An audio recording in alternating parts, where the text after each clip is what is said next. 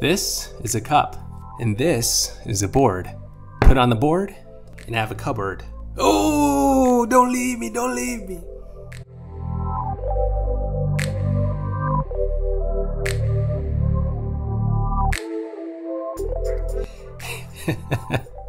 hey, what's up guys, and welcome back to today's video.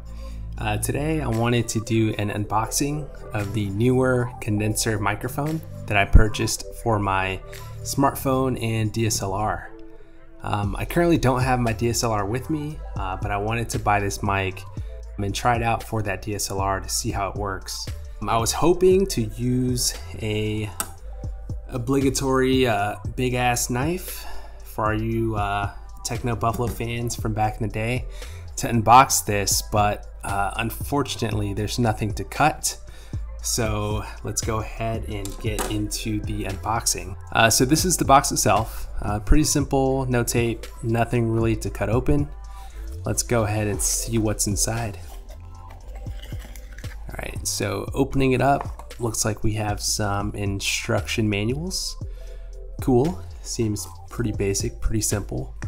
We have our uh, additional um, information. Oh, this is the actual instruction manual. Uh, the other one looks like it is a warranty card, so that's cool. Not sure what this is. Let's go ahead and set it aside for now.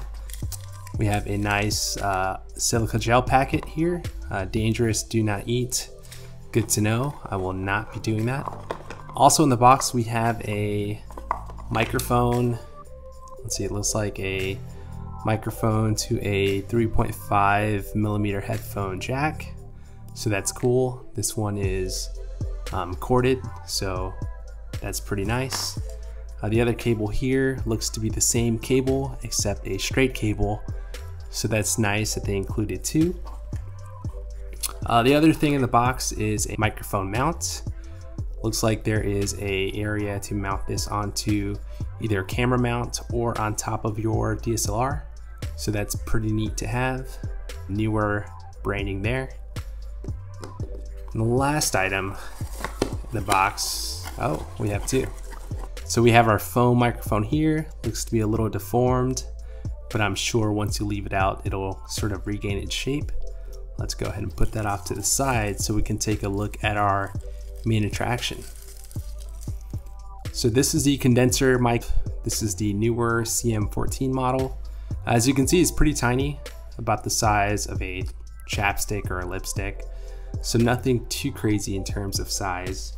Let's go ahead and put this foam mic on top and then attach it to the, ooh, it's taking some resistance to get on there.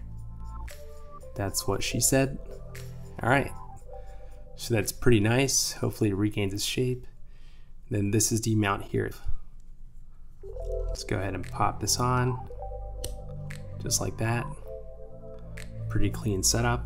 There was one more thing in the box that I didn't touch on, and this is the, looks like it's a windscreen for the microphone. Let's go ahead and open this up and see how it looks like. wow. This, uh, guys, we have a dead mouse. oh man, this, do you see this thing? It, it looks like the thing from the Addams family. That is hilarious. All right. This thing looks like it has pretty glorious flowing hair, which uh, it's actually coming off. As you can, not sure if you can see in the video, but let's go ahead and transplant some of this and put it on my hair. It's uh, it's a lot bigger than than what I thought. I, I saw a picture of this on the product uh, description, but I did not realize that it was going to be this big. Let's uh, hold up the microphone for size and look at that. So it looks like there's a small insert at the very bottom where you insert the head of the mic in. Let's see if we can find the hole there. Why do I have so many that's what she said jokes on this video? Oh man. All right, so looks like the hole is right there. Let's go ahead and take this off the mount and pull off the foam and see if we can stick this on.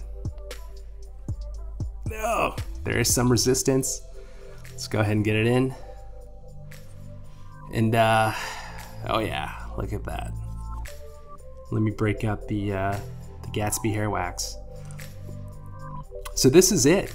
I want to go ahead and plug this up to the mic and we'll go ahead and do a quick audio comparison of how it sounds like. I'm currently recording on my lapel mic and it's been working okay up to this point, but I'm genuinely curious if this mic will perform better. All right, I will be back. Hey, what's up guys? And I am back. This time I am recording using the condenser mic and I am about to clean this shit up from my board. I don't know if you can see this. Literally, it's like a remnant of hairball. Um, so yeah, hopefully that sounds good. Let's get our little pet rock in the center there, and our uh, dead mouse next to him. So this is again the audio recording using the new Neewer CM14 condenser mic. All right, guys, this has been a quick unboxing of the Neewer CM14 condenser mic and a quick sound clip uh, using the mic itself.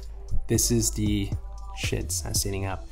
This is the CM14 mic with the dead mouse in the cup and our little pet rock making F3 faces to the mic. Thanks for watching and take care and have a great day.